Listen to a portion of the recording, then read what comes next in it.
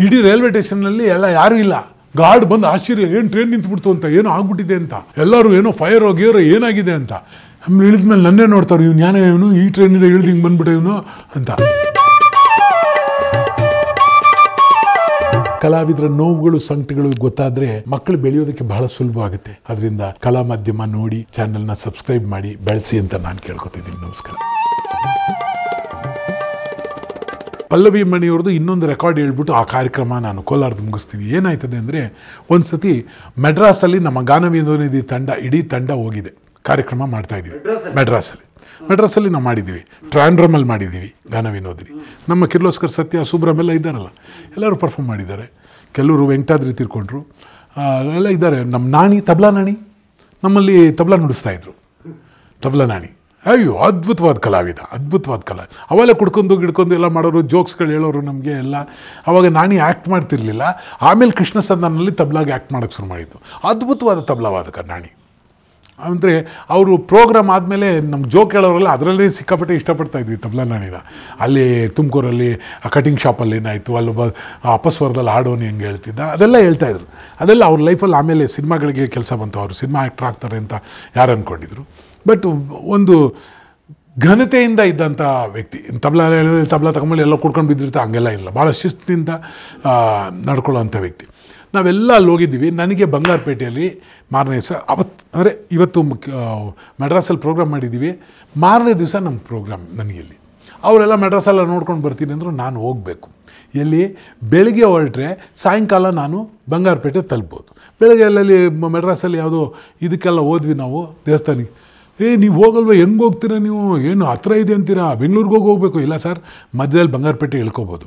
ಯಾರೋ ಐಡಿಯಾ ಕೊಟ್ಟರು ಲಾಲ್ಬಾಗ್ ಎಕ್ಸ್ಪ್ರೆಸ್ ಅಂತ ಒಂದು ಟ್ರೈನ್ ಇದೆ. ಅದರಲ್ಲಿ ನೀವು ಹೋದರೆ ಭಾಳ ಫಾಸ್ಟಾಗಿ ಹೋಗುತ್ತೆ. ಭಾಳ ಒಳ್ಳೆ ಡ್ರೈವರ್. ಪ್ಲೇನ್ ಒಂದು ಬಂಗಾರಪೇಟೆ ಇಳ್ಕೊಂಬಿಡಿ ಅಂದು ಏ, ಒಳ್ಳೆ ಐಡಿಯಾ ಅಂದ್ಬಿಟ್ಟು ಲಾಲ್ಬಾಗ್ ಎಕ್ಸ್ಪ್ರೆಸ್ ಹತ್ರ ಅದನ್ನು ಹನ್ನೆರಡು ಗಂಟೆಗೆ ಒಂದು ಗಂಟೆಗೆ ಏನೋ ಇದೆ. ಯಾರು ಸಹ ಆರಾಮ ರೈಲ್ವೆ ಸ್ಟೇಷನ್ಗೆ ಹೋದೆ. ಹೋಗಿ ಟಿಕೆಟ್ ತಗೊಳಕ್ಕೆ ನೋ ನೋ, ಬಂಗಾರಪೇಟೆ, ಬೆಂಗಳೂರು. ಅಂದರು, ಆಯ್ತು, ಬೆಂಗಳೂರು ಕೊಡಿ ಅಂದ್ರು. ಸರ್ ಬೆಂಗಳೂರು ನಾವು ಬಂಗಾರಪೇಟೆ ನಾವು ಸ್ಟಾಪ್ ಅಂದ್ಬಿಟ್ರು ಲಾಲ್ಬಾಗ್ ಟ್ರೈನ್ ಇದೆ ನಿಜ ಬಟ್ ಅದು ಬಂಗಾರಪೇಟೆ ಮೇಲೆ ಹೋಗುತ್ತೆ ನಿಜ. ಅದು ಫ್ಲೈಟ್ ಹೋದಂಗೆ ಹೋಗುತ್ತೆ. ಜುಮ್ ಅನ್ನೋಷ್ಟರಲ್ಲಿ ಬಂಗಾರಪೇಟೆ ಮುಗಿದೋಗಿರುತ್ತೆ. ಅಷ್ಟೇ ಸೌಂಡ್ ಕೇಳೋದು ನಿಮ್ಗೆ. ಅಲ್ಲಿ ಸ್ಟೇಷನಲ್ಲಿ ಯಾರೂ ಇರಲ್ಲ ಏನೂ ಇರಲ್ಲ. ಹೋಗ್ಬಿಡ್ತಾರೆ. ಅದು ಆ ಸೌಂಡ್ಗೆ ಟ್ರೈನ್ ಅಲ್ಲಾಡಬೇಕು. ಅಂತ ರೈಲ್ವೆ ಸ್ಟೇಷನ್ ಅಲ್ಲಾಡಬೇಕು. ಆ ಸ್ಪೀಡಲ್ಲಿ ಹೋಗೋದು ಅದು. ಬಂಗಾರಪೇಟೆ ಸ್ಟಾಪೇ ಇಲ್ಲ ಅದು. ರೆಕಾರ್ಡಲ್ಲಿ ನೋಡಿ ನೀವು. ನಾನು ಹತ್ಬಿಟ್ಟೆ. ಬೆಂಗಳೂರಿಗೆ ಹೋಗಿ ವಾಪಸ್ ಬರೋಣ ಬಿಡು, ಇನ್ನೇನು ಮಾಡೋಣ ಬೆಂಗಳೂರು ತಲುಪೋಷ್ಟರಲ್ಲಿ ಅದು ಒಂಬತ್ತು ಗಂಟೆನೇ ಏನಾಗುತ್ತೆ ನಾನು ವಾಪಸ್ ಕೋಲಾರ್ಗೆ ಹೋಗೋಷ್ಟರಲ್ಲಿ ರಾತ್ರಿ ಹನ್ನೆರಡು ಗಂಟೆ ಆಗುತ್ತೆ. ಒಂದು ಸತಿ ಮಾಡಿದ್ದೀನಿ ಫಸ್ಟ್ ಪ್ರೋಗ್ರಾಮ್ಗೆ ಈ ಥರ ಹಾಳು ಮಾಡಿದ್ದೀನಿ. ತಿರ್ಗಾ ಹಿಂಗೆ ಮಾಡಿದ್ರು, ಇವಾಗಂತೂ ನನ್ನ ಹೆಸರಲ್ಲಿ ಶೋ ನಡೆಯುವಂಥ ಕಾಲ ಬಂತು. ಆವಾಗ ನಾನು was a part of a show but ಆದರೂ ನಾನು ಫ ನನ್ನ ಹೆಸರಲ್ಲಿ ಮಾಡಿಸಿದ್ರು ಆವಾಗ. ಇದು ಇವಾಗ ಕೊಬ್ಬಂದ್ಬಿಡ್ತು ಅನ್ಕೊಳ್ಳವ ಏನು ಮಾಡೋದು? ಅದಕ್ಕೆ ಹೇಳೋದು, ಕಲಾವಿದರ ಭಾಷೆ ಕಲಾವಿದರ ನಡವಳಿಕೆ, ಕಲಾವಿದರ ಜೀವನಕ್ಕೆ ಬಹಳ ದೊಡ್ಡ ತಿರುವು ತಂದುಕೊಡುತ್ತೆ ಅನ್ನೋದಕ್ಕೆ. ನಾನು ಹೋಗಿ ಟ್ರೈನ್ ಹದ್ದೆ ಟ್ರೈನಲ್ಲಿ ಒಬ್ಬ ಟಿ ಸಿ ಸಿಗ್ತಾನೆ ಅಂದರೆ ಆ ಟ್ರೈನ್ ಟಿ ಸಿ ಅಲ್ಲ ಒಂದು ಬೇರೆ ಟ್ರೈನ್ ಟಿ ಸಿ. ಮುಸ್ಲಿಂ ಜನಾಂಗದವನು. ನಾನಂದೆ, ಏನಿಲ್ಲ ಸರ್, ಬಂಗಾರಪೇಟೆಯಲ್ಲಿ ಸ್ಲೋ ಮಾಡಿಬಿಟ್ರೆ ಸ್ವಲ್ಪ, ನಾನು ಮೆತ್ತಿಗೆ ಇಳ್ಕೊಂಬಿಡ್ತೀನಿ. ಅವನು ಸ್ಲೋ ಮಾಡೋದಕ್ಕೆ ಇದು ಯಾವುದು ಎತ್ತಿನ ಗಾಡಿ ಅಲ್ಲ ಸರ್, ಲಾಲ್ಬಾಗ್ ಎಕ್ಸ್ಪ್ರೆಸ್ ಇದು. ನೀವು ಎದುರ್ಕೊಂಡ್ಬಿಡ್ತೀರಾ ನೀವು? ನಿಮ್ಗೆ ಗೊತ್ತಿಲ್ಲ ಇದು. ಇದು ಓಡ್ಸೋನು ಒಬ್ಬ ಆಂಗ್ಲೋ ಇಂಡಿಯನು. ಅವನು ಭಾಳ ಸ್ಟ್ರಿಕ್ಟ್ ಮನುಷ್ಯ. ಅವನಿಗೆ ಎಲ್ಲಿ ಹೆಂಗೆ ಹೋಗ್ಬೇಕು ಅಂತೆಲ್ಲ ಗೊತ್ತು. ಒಂದು ವರ್ಡ್ ಇದೆ ಅವನಿಗೆ after flight Lalbagh express is to Bangalore ಅಂತ. ಅಷ್ಟು ಜಲ್ದಿ ಹೋಗೋದು ಇನ್ನೊಂದು ವಸ್ತು ಇದ್ದರೆ ಅದು ಲಾಲ್ಬಾಗ್ ಎಕ್ಸ್ಪ್ರೆಸ್ಸು. ಅಷ್ಟು ಶಿಸ್ತಲ್ಲಿ ಹೋಗೋ ಮನುಷ್ಯ ಅವನು. ಇಷ್ಟೆಲ್ಲ ಹೇಳಿದ್ಮೇಲೆ ಅವ್ನು ಮಾತಂದ is a very nice person ನೀವು ಹೋಗಿ ಮೀಟ್ ಮಾಡಿ ಒಂದು ಮಾತು ಹೇಳಿ ಅನ್ನು ಇವತ್ತು ಪ್ರೋಗ್ರಾಮ್ ಆಗಲ್ಲ. ಹೋಗೋಕ್ಕಾಗಲ್ಲ ನೀವು. ಬಟ್ ಒಂದು ಮಾತು ಹೇಳಿ ಹಿಂಗೆ. ನಾನು ಹೋಗಿ ಹಿಂಗೆ ನಿಂತಿದ್ದೆ ಸರ್ ವಿತ್ತು ಡ್ರೆಸ್ ಗಿಸ್ ಹಾಕೊಂಡಿದ್ದೆ ಯಾಕಂದ್ರೆ ಇಳಿದ ತಕ್ಷಣ ಪ್ರೋಗ್ರಾಮ್ಗೆ ಹೋಗಬೇಕು ಅಂತ ಮೊದಲೇ ಡ್ರೆಸ್ ಹಾಕೊಂಡ್ಬಿಟ್ಟಿದ್ವಿ ಸೂಟರ್ ಯಾರೋ ಒಬ್ಬ ಊದ್ದು ಆರು ಕಾಲು ಅಡಿ ಅವರು ಮಾತಾಡ್ತಾ ಇದ್ದಾರೆ ಅವರು ಹೆಂಗೆ ನಿಂತ್ಕೊಂಡು.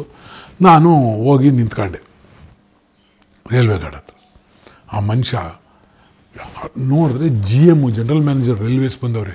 ಆ ಡ್ರೈವರ್ ಮಾತಾಡ್ಸೋಕ್ಕೆ ಅಂದರೆ ವಿ ಐ ಪಿ ಅಲ್ಲಿ ಬಂದಾಗ, ಮಹಾರಾಜರ ಅರಮನೆಗೆ ಬಂದಂಗೆ ಇರ್ತದದು ಅವ್ರಿಗೆ ಜನರಲ್ ಮ್ಯಾನೇಜರ್ ಅವರೇ ನನ್ನಲ್ಲಿ ಮಾತಾಡಿಸ್ತಾರೆ.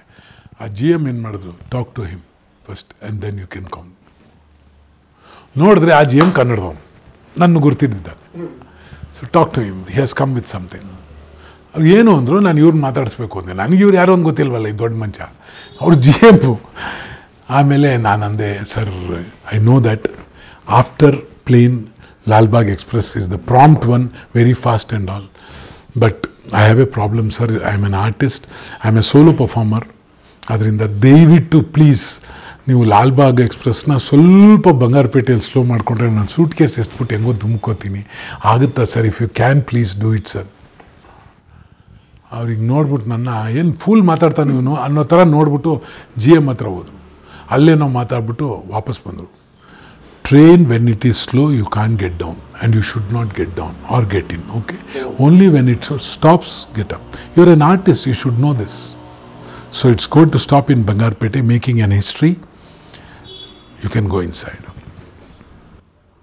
ಕೇಳಿ ಇವತ್ತು ಬಂಗಾರಪೇಟೆ ಜನಗಳಿಗೆ ಅವತ್ತು ಟ್ರೈನ್ ಬಂತು ಬಂಗಾರಪೇಟೆ ಬಂದ ತಕ್ಷಣನೇ ನಾನು ಚಕ್ ಅಂತ ಇಳಿದೆ ಇಳಿದ್ರೆ ಆ ಡ್ರೈವರ್ ಹಿಂಗೆ ನೋಡ್ದೆ ಒಂದು ಸೆಲ್ಯೂಟ್ ಹೊಡೆದೆ ಆ ಡ್ರೈವರ್ಗೆ ದುಡ್ಡು ಕೊಟ್ಟರೆ ನಡೆಯಲ್ಲ ಸರ್. ಕೋಟಿ ಕೊಟ್ಟರು ನಿಲ್ಲಿಸ್ತಿರ್ಲಿಲ್ಲ. ಅವನು ಗಾರ್ಡ್ ಹೇಳ್ದ, ಸರ್ ಇತಿಹಾಸ ಸರ್, ಬಂಗಾರಪೇಟೆಯಲ್ಲಿ ಲಾಲ್ಬಾಗ್ ಎಕ್ಸ್ಪ್ರೆಸ್ ನಿಂತಿತ್ತು ಅಂತ. ಇವತ್ತು ಈ ಕಾರ್ಯಕ್ರಮ ಬಂಗಾರಪೇಟೆಯವರು ಕೇಳ್ತಿರ್ತಾರೆ, ಮಣಿನೂ ಕೇಳ್ತಿರ್ತಾರೆ. ನಾನು ಬಂದೆ ಸ್ಟೇಜ್ ಮೇಲೆ ಬಂದು ಇಡೀ ರೈಲ್ವೆಗೆ ಥ್ಯಾಂಕ್ಸ್ ಹೇಳಿದೆ ಅವತ್ತು. ಇಡೀ ರೈಲ್ವೆ ಸ್ಟೇಷನ್ನಲ್ಲಿ ಎಲ್ಲ ಯಾರೂ ಇಲ್ಲ. ಗಾರ್ಡ್ ಬಂದು ಆಶ್ಚರ್ಯ, ಏನು ಟ್ರೈನ್ ನಿಂತ್ಬಿಡ್ತು ಅಂತ, ಏನು ಆಗ್ಬಿಟ್ಟಿದೆ ಅಂತ. ಎಲ್ಲರೂ ಏನೋ ಫೈರ್ ಹೋಗಿರೋ ಏನಾಗಿದೆ ಅಂತ. ಆಮೇಲೆ ಇಳಿದ್ಮೇಲೆ ನನ್ನೇ ನೋಡ್ತಾರೆ, ಇವ್ನು ಯಾನೇ ಇವನು, ಈ ಟ್ರೈನಿಂದ ಇಳಿದು ಹಿಂಗೆ ಬಂದ್ಬಿಟ್ಟೆ ಇವನು ಅಂತ. ಕಲೆಗೆ ಏನು ಮರ್ಯಾದೆ ಇರುತ್ತೆ ನೋಡಿ, ಆ ಜಿ ಎಮ್ಗೆ ನಾನು ಗೊತ್ತಿದ್ದಕ್ಕೂ, ಆ ಡ್ರೈವರ್ ಹತ್ರ ನಾನು ಸಿಂಪ್ಲಿಸಿಟಿಯಲ್ಲಿ ಮಾತಾಡಿದ್ದಕ್ಕೂ, ನಾವು ಎಷ್ಟೇ ಕಲಾವಿದರಾದರೂ ನಮ್ಮ ಸಿಂಪ್ಲಿಸಿಟಿ ಬಿಡಬಾರ್ದು. ಆ ಜಿ ಎಂ ನನ್ಗೆ ಗುಡ್ತಿದ್ದಾರೆ ಮಾತಾಡೋರು ಏನ್ಬಿಟ್ಟು ನಾವು ಅಹಂಕಾರ ಪಡಬಾರ್ದು. ಅವನ ಹತ್ರ ತಲೆ ಬಗ್ಗೆ ತಕ್ಷಣ ಅವನು ಕೇಳ್ಕೊಂಡಿರ್ಬೇಕು. ಸರ್ ಪಾಪ ಆರ್ಟಿಸ್ಟ್ ಅಂತ ಯಾವ್ಯಾವ ಗೊತ್ತು ಗೊತ್ತು ಆರ್ಟಿಸ್ಟು. ಹೆಲ್ಪ್ ಮಾಡಿ ಪಾಪ.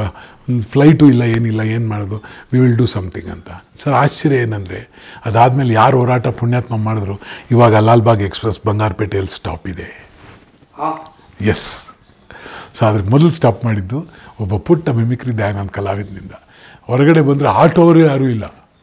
ಸರ್, ಇಲ್ಲಿ ಆಟೋ ಗಿಟೋರಲ್ಲಿ ಹೆಂಗೆ ಬಂದ್ರಿ ನೀವು? ಟ್ರೈನ್ ಇಲ್ಲ ಸರ್, ಈಗ ಯಾವ್ದು ಬಂದು ಯಾವ ಊರಲ್ಲಿ ಹೇಳ್ತಿದ್ದ ಸರ್, ನಾನು ಬಂಗಾರಪೇಟೆ, ಕೋಲಾರಲ್ಲಿ ಹೇಳ್ತೀನಿ. ಬಂಗಾರಪೇಟೆಯಲ್ಲಿ ಹೇಳ್ತಿದ್ದೀನಿ ಈ ಅಂತ ಗಾಡಿ ಬಂದು, ಸಾರ್, ಹೆಂಗೆ ಸಾರ್?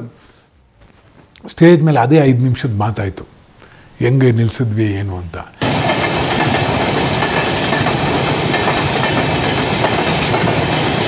ನನ್ನ ದೊಡ್ಡಸ್ತಿಗೆ ಅಲ್ಲ, ಅದೇನು ಅಂದರೆ ಆ ಡ್ರೈವರ್ದು ಕಲಾ ಕಲೆ ಮೇಲೆ ಇರೋ ಪ್ರೀತಿ ಆ ಜನರಲ್ ಮ್ಯಾನೇಜರ್ ಅಂಥವರು ಒಬ್ಬ ಕನ್ನಡಿಗರಾಗಿದ್ದರು ಪುಣ್ಯ. ಇನ್ನೊಂದು, ಪರಿಸ್ಥಿತಿಯನ್ನು ಎಕ್ಸ್ಪ್ಲೇನ್ ಮಾಡಿದ್ರೆ ಯಾರು ಬೇಕಾದ್ರೂ ಬಗ್ತಾರೆ. ಕಬ್ಬಣನೂ ಬಗ್ಗಿಸ್ಬೋದು, ಬಂಡೆನೂ ಬಗ್ಗಿಸ್ಬೋದು. ಆದರೆ ನಿಮ್ಮಲ್ಲಿ ಫಸ್ಟು ಸತ್ಯನೂ ಇರಬೇಕು, ಆಮೇಲೆ ವಿನಯನೂ ಇರಬೇಕು. ಆವಾಗ ನಾವು ಗೆದ್ದೇ ಗೆಲ್ತೀವಿ. ಹಂಗೆ ಲಾಗ್, ಲಾಲ್ಬಾಗ್ ಎಕ್ಸ್ಪ್ರೆಸ್, ಬಂಗಾರಪೇಟೆಯಲ್ಲಿ ನಿಲ್ಲಿಸಿರೋ ಕಥೆನ ನನ್ನ ಜೀವನದ ಇತಿಹಾಸದಿಂದ ಬದುಕ್ಸಕ್ಕೆ ಬೇರೆ ಮಾಡೋಕ್ಕಾಗೋದೇ ಇಲ್ಲ. ಅವರು, ಅವ್ರು ಕೊಡೋ ಊಟ ಯಾವುದೇ ಕಲಾವಿದರು, ನಾಳೆನೂ ನೀವು ಎಲ್ಲ ಕಲಾವಿದರು ಕೇಳ್ತಾ ಇದ್ರು, ಹೋಗ್ತೀರಾ ಬಂಗಾರಪೇಟೆಗೆ ಬಂಗಾರಪೇಟೆಯಲ್ಲಿ ರಾಜ್ಯೋತ್ಸವಕ್ಕೆ ಹೋಗ್ತೀರಾ ಬಂಗಾರಪೇಟೆಯಲ್ಲಿ ಗಣಪತಿ ಒಂದೇ ಒಂದು ಮೇಯ್ನಾಗಿ ಕೂರಿಸೋದು. ಅದು ಈ ಪಲ್ಲವಿ ಮಣಿಯದು ಆ ಸರ್ಕಲ್ ಅವರ ಗಣಪತಿ. ಅಂದರೆ ನನಗೆ ಅವ್ರಿಗೆ ಗೊತ್ತು ಅಂತ ಅವ್ರ ಹೆಸರು ಹೇಳ್ತಾ ಇದ್ದೀನಿ. ಇಡೀ ಅದೊಂದು ದೊಡ್ಡ ತಂಡ ಇದೆ ಅಲ್ಲಿ. ಪಲ್ಲವಿ ಅವ್ರದ್ದು ಏನು ಮೀಡಿಯಾನೂ ಇದೆ, ಇದೇ ಥರ ಕೇಬಲ್ಲು ಅಥವಾ ಏನೋ ಟಿ ವಿ ಇದೇನೋ ಮಾಡ್ತಾಯಿದ್ದಾರೆ ನೆಟ್ವರ್ಕೇ ಇದೆ.